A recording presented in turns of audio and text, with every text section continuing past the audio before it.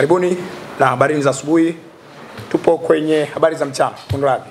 Uh, tupo kwenye mkutano kuelekea mchezo namba 206 wa ligi kuu ya NBC kati ya Azam FC ambao ni wenyeji, wenyeji kutoka kule Azam Complex Chamazi ambao wanakwenda kuwakaribisha Simba Sports Club eh, kwenye mchezo huu ambao utachezwa kwenye uwanja wa Azam Complex kesho kuanzia majira ya saa moja usiku. Tunakwenda kuzungumza na makocha ama nahodha wa timu hizi mbili eh, watueleze namna ambavyo wamejiandaa kuelekea mchezo huu.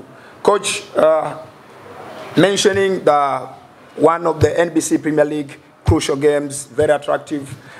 Azam FC versus Simba Sports Club is one of them. Uh, how was your two days in training?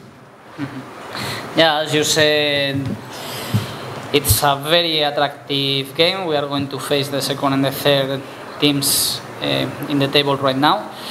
They have a very good team, good professional players, good Tanzanian players, good young talents, a good coach. Uh, I think he's bringing a lot of freshness. Now they are changing some of the uh, behaviors they had in the first leg when we faced them or when we faced them in Mapinduzi. Uh, but they are still a good team. They are uh, still a team that can play good football, that can create chances, uh, that can score goals. So we need to play our best tomorrow. If we want to get uh, anything from from Chamazi, uh, today in training we tried to get adapted a little bit to the turf. Uh, we went to training artificial, and yesterday was the other training. We went just to work on small details, and there's no time for more. We need to recover good because we didn't have too much time to prepare this, this game as most of the times. So the most important thing is to choose tomorrow the players who are going to be uh, fresher and, and the ones who are mentally ready to go for this battle because it's going to be a tough battle for both teams. Thank you coach. Karibuni kwa maswali. For any reason. Nah. No information in advance when we are playing key games to the opponents. Tomorrow you will see, but we are still uh, missing many players as the last games. And you will see some of them will be ready for tomorrow, some of them we will not be ready. The good news is that we are not missing anyone else in these two training sessions, so that's at least uh, uh, an advance regarding the last matches. And how do you see the title race? Sorry? How do you see the title race? NBC Premier League title. The title?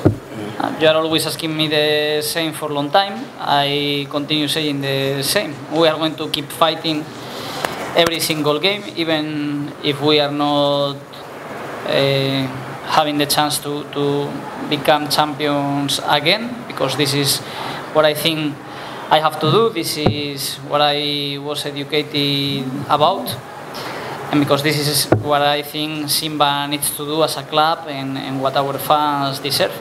But I have the same speech I think in the last six, seven weeks. It's almost impossible. Every day that uh, comes by it's even more difficult because uh, Yanga is not uh, making many mistakes. They are dropping some points now, and I'm sure that they are going to continue dropping points. So that means that we need to keep fighting. But uh, they are also going to win games and they have a, a good advantage. And this is reality. And I always said I'm not coming here to to lie to anyone. Uh, it's very difficult, but we are going to keep fighting. And tomorrow we have a game, and we have to respect our club, our fans, and it's a nice game to play. We will try to win the three points to keep in the race. The beautiful game tomorrow. Apart from uh, aim to collect all the three points, the other side of it. I think we both are teams uh, which like to play a good football, which like to be on the ball. It's going to be a fight for getting the ball and try to take advantage of our capacities and, and the ability of our players because both teams have players who can make the difference, especially in the last uh, third. Uh, they have, I think, two top strikers. One of them played in Europe. Uh, the other one is the current top scorer in the league. So uh, I think, uh, I mean, last league. So I think they can make the difference. But I, I also said uh, they have young talents. They have good players in the wings, as we have. And all these players can balance any game. So I think we are we are willing to, or we are expecting to, to see the best version of, of these players. I hope tomorrow we see the best version of our players and, and also of our players in defense, uh, not letting them to take advantage of their capacities. But I think on the paper it's a good game, but also when you are playing uh, big games between good teams, sometimes uh, it's also difficult for both of them to create the same chances we are creating when we are facing some weaker teams. So I think we are going to try. Uh, let's see if our fitness level for both sides, if the turf uh, allows us to, to play our best football, but I think at least we are going to try, and I think the fans uh, is one of the games they are expecting to, to watch uh, in the season. This is about being realistic, and I'm answering the same question for I don't know how long time. We are going to fight till the end, and my hope is to win every day the three points. What the others uh, do, I don't care. To be honest, I didn't watch Yanga playing against Dodoma because this is not what matters to me. I was watching games of Fasan, I was analyzing our last game, I was double checking our game against them in league in the first leg, I was checking the map and Mapinduzi Cup game. This is my job. The things that depend on me the things that don't depend on me, and unluckily in the league we are not depending on us from the very beginning, even before I was here.